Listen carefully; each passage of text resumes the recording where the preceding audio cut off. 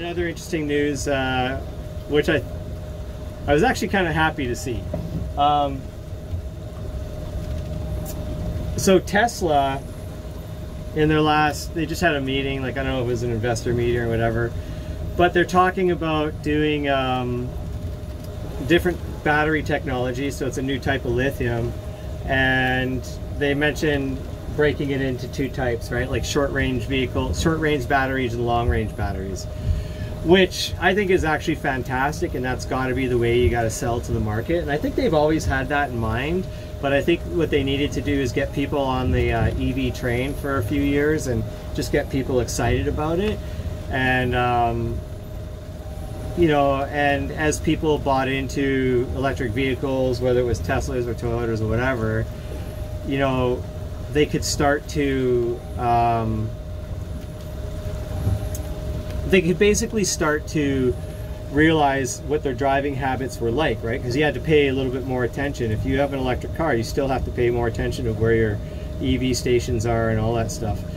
Um, but what you learn is that probably 80 to 90 percent of your driving, if you're in a municipality like a city, um, Let's see shit. Hang on.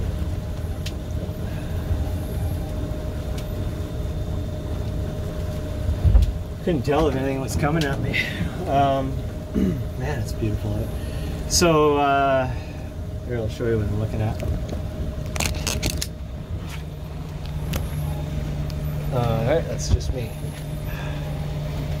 Uh, it's so nice. Probably not coming through on the cameras as good as it looks in real life, but amazing sunset. Um, anyway, so people are learning uh, more about their driving habits, and they're probably realizing that 80 to 90 percent of their driving is done within the city. And I think that that's that's exactly where you need to have an electric vehicle, right? There's no reason that's that's the best place to have an electric vehicle. Um, you know, like and I have no data to back this up, but I would say that in a city there's a lot of pollution from vehicles just stuck in traffic and idle and all sorts of crap, right? And um, and I think that uh, having um, you know just I wouldn't say like mandating. I don't like the word mandate, especially especially now because lots of mandates and I ain't I ain't cool with it all. Um, happening, but I think the best place to own an electric vehicle is if you're a city dweller and you're driving a lot in the city and you know city intercity, uh, and that's where you would you wouldn't need to worry about your range or your battery pack because you're just doing like maximum 20 to 40 clicks a day. You know, like you're just driving to work, driving home, going to get groceries, whatever.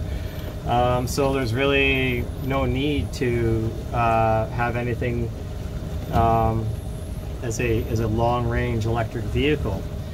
Uh, so that covers the short range uh, the short range theory, which I think is fantastic. I think that's a great idea.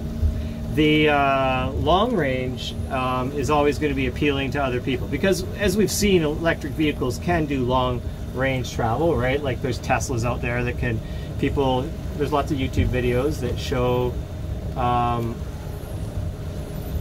there's lots of videos out there that show the uh, the you know how they how so and so does their trip across the United States, and you know you it can be done no problem, but you've got to find the charging stations and all that stuff. So you got to be really mindful when you're doing a long range trip on a on a, with an electric vehicle. If you're doing a um, I got some really funky current coming from the port side here. It's strange. Um, but if you're doing a uh, um, long range, say in a gas vehicle, you have a lot more freedom. Let's just face it, right? Like you can go and take roads here and there. You can bring jerry cans of fuel. You have a lot more um, opportunity to explore, right? So you're not locked into the EV uh, highway, if you want to call it that. And um, and that's a you know that's something that I don't know if a lot of people really consider but uh, but it looks like Tesla is going to market to that crowd anyway they're going to have like the long range battery, which will be in the long range vehicle. It's going to cost obviously more money, um, more expensive battery. But for those who want to be um, zero emissions on the road for their highway trips, then that will appeal to them. One of the things that I don't think people think about is that gas and diesel do get more efficient on the highway. I mean, like every mile you're getting a little bit lighter, right? Something to think about. It doesn't happen with an electric vehicle. You're still carrying the same weight no matter what, whether the batteries are charged or not charged. Um, anyway, uh, but the point was just to talk about the. The point was basically just to talk about the um, the fact that they're starting to split it into long range, short range, and they'll probably do a mid range eventually. And uh, I think that's great, like because I think that's probably what they had originally planned on years down the road. They just needed to get people into the EV market. But I think that's great. Why do I say that? Because I think it's going to be the same with boats. I would consider e-Trolley a short range boat. you know, it's a, um, I, you know, I call it a weekender or whatever. I call it a weekender because it's good for the weekend. It's not good for, uh, you know, coastal crawling, you know, hundreds of miles um, on a trip, right? It's it's good to. This is a short range, a short range EV, electric vessel, and I think that's the eventually how boats, if they if people do get wise to it, you know, to get on electric boats, whether it's a conversion or. I mean, shit, I just saw a company in California that they're going to charge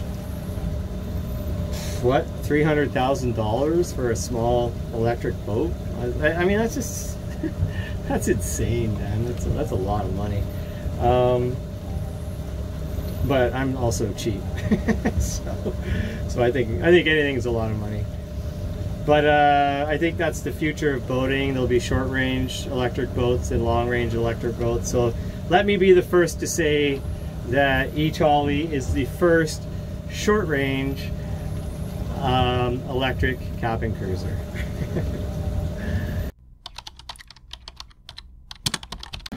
Dialed in.